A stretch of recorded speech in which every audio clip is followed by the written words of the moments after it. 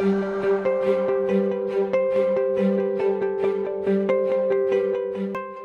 ับ สวัสดีครับ วันนี้ผมจะมาขออัปเดตเรื่อง global economic outlook แล้วก็ผลกระทบต่อประเทศไทยนะครับ ก็อันนี้เป็นครั้งสุดท้ายของปีนี้แล้วนะครับ ก็ปีนี้เนี่ยก่อนจบปีไปก็มีความเสี่ยงขึ้นมาอีกอันหนึ่งก็คือไวรัสสายพันธุ์โอมิครอนนะฮะหรือโอไมครอนที่หลาย ๆ คนเรียกนะฮะก็ตอนนี้เนี่ย ความกังวลเริ่มมี แต่ผมว่าหลายคนก็กังวลน้อยลงไป เพราะว่าจริงๆแล้วโอมิครอนเนี่ยอาจจะติดง่าย แต่อาการป่วยเนี่ยอาจจะไม่สาหัสแล้วก็ไม่หนัก แล้วก็ทำให้คนที่ได้รับเชื้อไปเนี่ยก็ไม่เข้าโรงพยาบาลอันนี้ แต่ตอนนี้ก็ยังอาจจะเป็นเร็วไปนิดนึงนะเพราะจริงๆ ยังไม่ถึงเดือนเลยนะที่เรามีข่าวเรื่องโอมิครอนนะแต่ว่าหลายๆคนเนี่ยความกังวลใจก็เริ่มลดลงมา เพราะว่าอย่างตัวอย่างเนี่ยที่ให้เห็นเนี่ยก็คือคนที่ติดเชื้อที่เซาท์แอฟริกาเนี่ยก็จะเห็นได้เลยว่าเขาเนี่ยก็ ติดเชื้อเยอะ แต่ก็ไม่จำเป็นจะต้องไปเข้าโรงพยาบาลนะอาการไม่หนักนะครับอะเรา move on มาผมว่าตรงนี้ความเสี่ยงก็น้อยลง และจริงๆที่เราประเมินกันเองเนี่ยเราคิดว่าจากหลายที่คุยกับหลายๆคนเนี่ยไวรัสมันเริ่มเปลี่ยนตัวเองไปเรื่อยๆ เพราะว่าหนีหนีการหนีพวกวัคซีนที่คนจำนวนมากเนี่ยได้ฉีดไปแล้วเนี่ยทำให้ตัวเองต้องกลายพันธุ์ไปเรื่อยๆทำให้หน้าตามันเริ่มไม่เหมือนเดิมละทำให้ตัว ไวรัส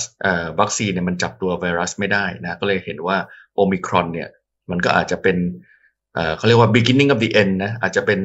จุดจบของ pandemic ที่เราเห็นนะ เดี๋ยวทุกคนแต่ผมว่าต้องรอดูอีกสักพัก ให้ข้อมูลมันเยอะกว่านี้สัหน่อยนะ แต่ว่าผมว่าจริงๆ แสงสว่างที่ปลายอุโมงค์เนี่ยน่าจะพูดได้นะครับสไลด์ต่อไปนะฮะอันนี้ก็เป็นเรื่องของการฉีดวัคซีนนะครับ ก็ถ้าบอกว่า 3 เดือนก่อนเนี่ยประเทศไทยจะฉีดวัคซีน มากกว่าประเทศสหรัฐ แล้วก็หลาย ๆ ประเทศในยุโรปเนี่ยเราก็คงอาจจะไม่เชื่อนะแต่ตอนนี้มันก็เกิดขึ้นมาแล้วนะก็ถือว่าการฉีดวัคซีนปีนี้ไม่ไม่ไม่ว่าเฉพาะประเทศไทยนะจริงทุกประเทศเลยนะฮะต้องถือว่าทำได้ดีกว่าที่ทุกคนคาดนะทุกคนไม่ถ้าถามว่าปีที่แล้วเนี่ยเราจะมีวัคซีนไหมทุกคนก็ยังไม่แน่ใจนะครับณนะจุดนี้ของปีที่แล้ว แต่ตอนนี้เราเห็นแล้วแหละว่าการฉีดวัคซีนเนี่ยก็เป็นไปได้อย่างดีนะครับ แล้วก็ทำให้โลกเนี่ย มันเริ่มฟื้นกลับมาเป็นปกติในหลายประเทศนะของประเทศไทยเนี่ยก็เห็นว่าประมาณตั้งแต่ประมาณ Q4 เป็นต้นมาเนี่ยคนไทยก็เริ่มกลับมาใช้ชีวิตเป็นปกติ ก็เพราะหลักๆเนี่ยก็มาจากการฉีดวัคซีนที่ดีกว่าที่คาดทำให้เรามีเริ่มมีภูมิคุ้มกันหมู่นะอันนี้ยังไม่อยากจะบอกว่าเรามีภูมิคุ้มกันหมู่แล้วนะเดี๋ยวเราจะไม่ใส่หน้ากากแต่ผมว่าเรายังยังใกล้ละแต่ยังไม่ถึงจุดนั้นนะครับถ้าไปมองการเติบโตของโลกจริงๆ อยากจะบอกว่าปี ที่แล้วปี 2020 เนี่ยทุกอย่างมันคอลลัปลงมา เพราะโลกมีการล็อกดาวน์นะโลกหยุดการท่องเที่ยว หยุดการเคลื่อนไหวนะก็ทำให้ปีที่แล้วเนี่ยเศรษฐกิจโลกหดตัวลงมาเยอะ ปีนี้เนี่ยก็เริ่มฉีดวัคซีนได้เยอะนะฮะโดยเฉพาะในกลุ่มประเทศ advanced economy เราก็เลยว่าปีนี้เนี่ยถึงแม้ว่ามันจะมีปัญหาหลาย ๆ อย่างที่เราเห็นนะครับ แต่ว่า global growth เนี่ยก็จะโต 6%ซึ่ง 6%เนี่ยก็ปกติก็ถือว่าสูงกว่า potential growth ของโลกปกติโลกมันควรจะโตประมาณ 3 3.5%แต่ตอนนี้ แต่เพลินปีนี้กับปีที่แล้วเนี่ยมันเป็นปีที่เรียกว่ามีความผิดปกติแล้วกันนะปีแล้วโลกหยุดหมุน ปีนี้โลกทุกอย่างฟื้นกลับมา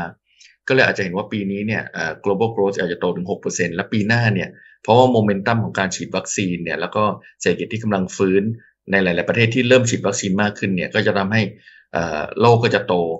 เกือบ 5%เพราะนั้นในทางด้าน backdrop ของเศรษฐกิจโลกเนี่ยเราจะเห็นว่า backdrop ในโลกคือไปได้ดี ยังไปได้ดียังไม่ความเสี่ยงยังถือว่าน้อยนะที่จะเกิด recession เหมือนช่วงก่อนๆไม่มี overheating ในระดับที่เราน่ากังวลนะถึงแม้ว่าตัวเลขจะเยอะแต่ว่าตัว headline เนี่ยผมไม่อยากให้เราไปโฟกัสเพราะตัว headline เนี่ยอาจจะเห็นว่า headline มันสูงนะฮะแต่ว่าสูงเป็นเพราะปี 2020เนี่ยทุกอย่างมันควบลงมานะครับ อีกด้านหนึ่งที่คนให้ความกังวลมากก็คือเรื่องเงินเฟ้อนะครับแต่ถามว่าเงินเฟ้อเนี่ยก็จริงว่าเงินเฟ้อมันสูงขึ้นนะแล้วก็สูงขึ้นกว่า pre pandemic ด้วยนะเกิดสูงขึ้นกว่าตอนเกิด โควิดก็แต่ผมก็อยากจะบอกว่าไอ้ปัญหาเงินเฟ้อเนี่ยมันน่าจะเป็นปัญหาชั่วคราวนะฮะหลาย ๆ ประเทศที่เราเห็นเอามาทั้งทั้งในยุโรปทั้งในอเมริกาเนี่ยอินฟลชันสูงขึ้นจริง ถ้าใครได้อ่านข่าวแล้วเร็วๆเนี้ยเราเห็นได้ว่าเงินเฟ้อในสหรัฐสูงสุดในรอบ 40 ปี แต่ว่าพวกนี้มันเป็น ผลของฐานต่ำเมื่อปีที่แล้วนะเพราะว่าเวลาเราเทียบเงินเฟ้อเนี่ยเราเอาราคาในตะกร้าของปีนี้ไปเทียบกับราคาของตะกร้าในปีที่แล้วนะเพราะนั้นปีแล้วเนี่ยมันตกลงต่ำลงค่อนข้างผิดปกติ ปีนี้มันฟื้นขึ้นมาก็ก็อย่าไปตกใจผมว่าเดี๋ยวต้องรอดูไปยาวๆนะแต่ว่าตามหลักของนักเศรษฐศาสตร์เนี่ยเงินเฟ้อเนี่ยมันมันไม่ได้เป็นปัญหาที่จะเป็นถาวรเหมือนในช่วงยุค1970 1980นะฮะซึ่งตอนนั้นมันมีเรื่อง trade union สภาพแรงงานต่างๆนะครับเพราะนั้นเราไม่ได้กังวลในนักเศรษฐศาสตร์เราคิดว่าประมาณใช้เวลาอีก 6 เดือนอาจจะถึงปีหนึ่งตัว inflation จะค่อยๆปรับตัวลดลงมานะอย่างที่เราเห็นเนี่ยหลักๆเนี่ยที่มันที่ราคาของทุกอย่างมันเพิ่มขึ้นเนี่ยเพราะปีที่แล้วทุกอย่างมัน collapse ปีนี้ทุกอย่างทุกคนต้องการของเศรษฐกิจกลับมาฟื้นนะทุกคนหาคนงานนะครับ หาของนะฮะของทุกอย่างแพงขึ้นหมดนะฮะทุกคนหา เรือจะขนของสินค้าระหว่างประเทศ เพราะนั้นทุกอย่างมันแย่งกัน เพราะนั้นราคามันก็เลยขึ้นมาพีคนะฮะแต่ว่าอย่างที่เราเห็นเนี่ยจากค่าระวางเรือนะจาก Baltic Dry Index เนี่ยเราเห็นได้ว่าจากพันกว่าขึ้นไปเกิน 5,000 กว่านะครับแล้วตอนนี้มันก็เริ่มตกลงมาแล้วนะฮะซึ่งตอนนี้ supply chain ที่มันมีคอขวดอยู่เนี่ยที่เขาเรียกว่า bottleneck เนี่ยมันจะค่อยๆ ปรับตัวลดลงไปนะฮะ ตามลำดับ เพราะนั้นตรงเนี้ยตามมุมมองของนักเศรษฐศาสตร์เนี่ยไม่ได้กังวลผมว่าปีหน้าเนี่ยทุกอย่างจะเริ่มกลับมาเป็นปกติ ต้องอย่าลืมนะ inflation เนี่ยมันคือการเปรียบเทียบระหว่างราคาของปีนี้กับปีที่แล้วนะถึงปีนี้เนี่ยราคาจะสูงขึ้นแล้วปีหน้าราคาอาจจะทรงๆเดิมเนี่ย inflation ก็จะหายไป เพราะนั้นในมุมมองของนักเศรษฐศาสตร์เนี่ยเราคงอาจจะบอกไม่ได้นะว่าราคาจะสูงต่อไปอีกนานไหมแต่เราคิดว่าราคาไม่น่าจะขึ้นไปต่อนะเพราะว่าตามหลักของ supply chain เนี่ยเดี๋ยวมันก็จะค่อยๆ work work กันไปเองนะค่อยๆคลี่คลายออกมานะครับ เพราะนั้นตอนนี้อีกปัญหาหนึ่งที่คนถามเยอะอ้าวแล้วเฟดจะทำอะไรนะซึ่งตอนนี้เราเห็นว่าเฟดเองก็ panic นะเพราะว่าเงินเฟ้อก็ค่อนข้างสูงนะตอนนี้คนพรุ่งนี้เผอิญมันจะมีผลของการประชุมเฟดนะซึ่งตอนนี้คนกำลังจับตาดูว่า ตอนแรกเนี่ยทางเฟดบอกว่าจะ taper taper ก็คือการลด ปริมาณ QE นะปริมาณการเข้าไปซื้อสินทรัพย์ในตลาดนะซึ่งตอนนี้เขาเข้าไปซื้อเดือนละร้อยยี่สิบ billion ดอลลาร์นะตอนนี้ก็คิดว่าตอนแรกคิดว่าจะค่อยๆลดเดือนละ15 billion ไป แล้วก็จะจบเดือนจู แต่ตอนนี้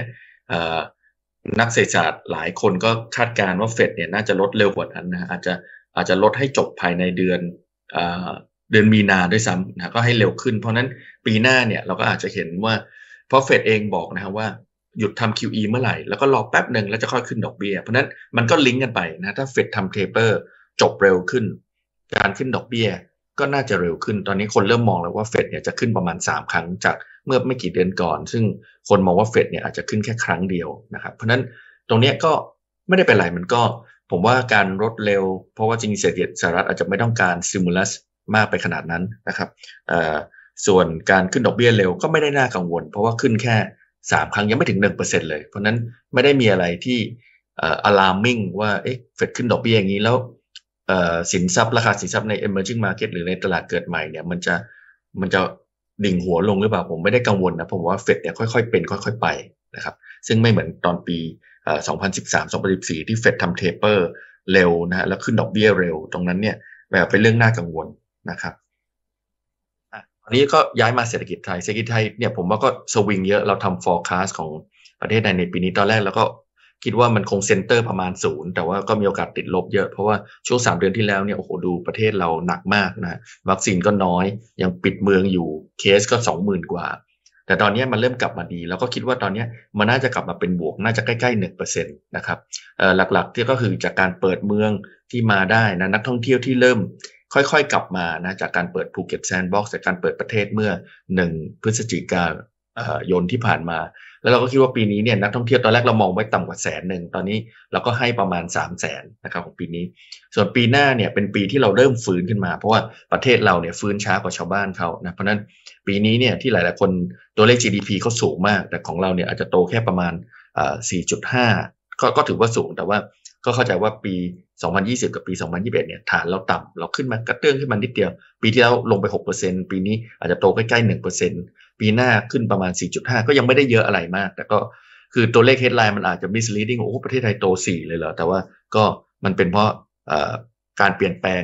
ในจากการช่วงโควิดนะครับแล้วก็ปีหน้าเราคิดว่านักท่องเที่ยวก็คงจะกลับมาประมาณสองล้านห้าถึงสามล้านคนนะครับเพราะว่าเราก็ยังเชื่อว่าประเทศจีนยังไม่ได้เปิดประเทศ ให้นักท่องเที่ยวเขาออกมาเที่ยวนอกประเทศได้อย่างเสรีเหมือนในช่วงปี 2019 นะครับเอ่อก็ที่ผ่านมาเนี่ยก็เราเห็นแล้วแหละว่าในตัวเลข Q3 เนี่ย GDP เราก็ยังต่ำกว่า 5%นะกับเทียบกับตอน GDP ของเราก่อนเกิดโควิด เพราะนั้นเราเนี่ยค่อยๆฟื้นตัวแต่ยังฟื้นช้ากว่าหลาย ๆประเทศนะเพราะนั้นตรงนี้ต่อไปเนี่ยก็มันจะค่อยๆดีขึ้นนะครับ เราก็ เห็นว่าเศรษฐกิจดีขึ้นแต่ว่าเศรษฐกิจเราเนี่ยพึ่งการท่องเที่ยวค่อนข้างเยอะ อย่างที่กล่าวไปว่าการท่องเที่ยวเนี่ยยังพึ่งนักท่องเที่ยวจากต่างประเทศค่อนข้างเยอะ และนักท่องเที่ยวจีนเนี่ยก็ยังไม่มีแนวโน้มว่าจะกลับมาได้เร็วนะฮะเหมือนปี 2019 เพราะนั้นตรงนี้มันก็จะเป็นตัว drag ให้เศรษฐกิจไทยเนี่ยไม่ฟื้นตัวเร็วเหมือนประเทศอื่นๆ ในประเทศเพื่อนบ้านอื่นๆนะก็อย่างที่บอกไปเนี่ย mobility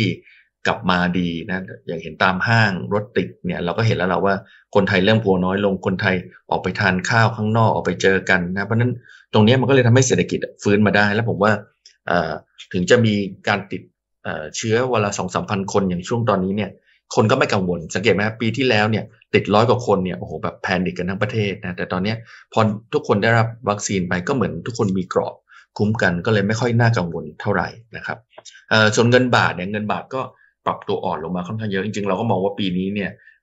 ปลายปีก็น่าอยู่ประมาณ 34 บาทนะเพราะว่าหลาย ๆ ปัจจัยว่าเศรษฐกิจเราฟื้นช้านะฮะส่งออกเราดีแต่นักท่องเที่ยวเราไม่มา เพราะนั้นเราก็ตัว current account ของเราเนี่ยดุลบัญชีเงินสะพัดเนี่ยก็ก็ก็ติดลบมาสักพักหนึ่งนะแล้วก็ตรงนี้มันก็คงเป็นเอ่อเป็นตัว drag อย่างนี้ไปอีกนานกว่ากว่านักท่องเที่ยวจีนจะกลับมา ซึ่งบางคนก็บอกว่าเอออาจจะใช้เวลา 3-4 ปีกว่าเราจะกลับไป ที่ระดับนักท่องเที่ยว 39 ล้านคนเหมือนปี 2019 นะครับอีกด้านหนึ่งที่รัฐบาลตอนแรกก็กังวลว่าเอ๊ะเดี๋ยวกู้เงินเยอะเพราะก่อนโควิดเนี่ยหนี้รัฐบาลไทยเนี่ยอยู่ที่ประมาณ 40กว่าเปอร์เซ็นต์นะตอนนี้ใกล้ๆ 60 แล้วตอนแรกเรามีเพดานหนี้สาธารณะอยู่ที่ 60เปอร์เซ็นต์ซึ่งในที่สุดเนี่ยรัฐบาลก็ยกเพดานเนี่ยขึ้นมาเป็น 70เปอร์เซ็นต์ซึ่งก็เห็นแล้วแหละว่ามันไม่มีอะไรน่ากังวล 70เปอร์เซ็นต์ก็ยังไม่ได้สูงอะไรนะเพราะว่าเทียบกับประเทศ ที่เจริญแล้วเนี่ยเขาเป็นร้อยกันนะเพราะนั้นนี้สาธารณะที่สูงประมาณ 70%ของ GDP เนี่ยเราจ่ายได้นะวันนี้ไม่ได้กังวล แล้วก็การทำอย่างนี้ปุ๊บเนี่ยก็แสดงว่ารัฐบาลพร้อม แล้วก็มี room ในการจะกระตุ้นเศรษฐกิจผ่านนโยบายการคลัง ซึ่งเราคงเห็นนโยบายเกี่ยวกับเนี่ยการ spending นะฮะพวกนโยบายให้คนกระตุ้นการจับจ่ายใช้สอยนะฮะบวกกับนโยบายการท่องเที่ยวเนี่ย ในประเทศอย่างน้อยนะเพราะว่านักท่องเที่ยวต่างประเทศยังกลับมา ก็ยังกลับมาได้ไม่เต็มเม็ดเต็มหน่วยเพราะนั้นเราคงเห็นการกระตุ้นเรื่องนี้ไปเรื่อยๆนะครับทั้งปีนี้และปีหน้านะครับอีกด้านหนึ่งที่ผมอยากจะทิ้งไว้ก็คือเรื่องรถไฟความเร็วสูงจากจีนมาลาวนะจากคุณหมิงมาเวียงจันทร์เนี่ยผมว่ามันก็จะเป็นจุดเปลี่ยนเศรษฐกิจในภูมิภาคนะของจีนคง เข้ามาในทางลาวได้เยอะแล้วลาวเนี่ยมีคนแค่ประมาณ 7 ล้านคนผมว่ามันก็จะกระตุ้นเศรษฐกิจลาว ซึ่งในที่สุดมันก็คงไทยเองก็ได้อันนี้ส่งด้วยเนี่ยถ้าเพื่อนบ้านเราเนี่ยมีฐานะดีขึ้นเราเองก็ขายของได้มากขึ้น เพราะนั้นตรงเนี้ยก็จะเป็นจุดหนึ่งที่เปลี่ยนแต่เองแต่ถ้ามองไปเนี่ยการแข่งขันก็คงเยอะขึ้น เพราะว่าของจีนที่จะมาลาวเนี่ยก็ค่าขนส่งก็จะถูกลงนะของลาวไปจีน ถ้าเรามองว่าเป็นได้ทั้งวิกฤตและโอกาสนะเราเองก็ต้องปรับตัวทำให้ ราคาค่าขนส่งเราเนี่ยก็ competitive มากขึ้นนะฮะเขาบอกค่าขนโลจิสติกในลาวเนี่ยเขาบอกจะตกไปประมาณ 50-70%เนี่ยซึ่งวันนี้ผมว่าก็จะกระตุ้นเศรษฐกิจลาวได้ค่อนข้างเยอะ แล้วผมว่าในที่สุดเนี่ยรัฐบาลเราก็คงต้องสร้างรถไฟนะไปถึงหนองคายแล้วก็ไปเชื่อมกับรถไฟความเร็วสูง เพื่อต่อไปทางจีนได้มากขึ้นนะครับ อันนี้ก็อันนี้ผมอาจจะขอจบการบรรยายประมาณเท่านี้นะครับ ขอบคุณมากครับ สวัสดีครับ Thank you.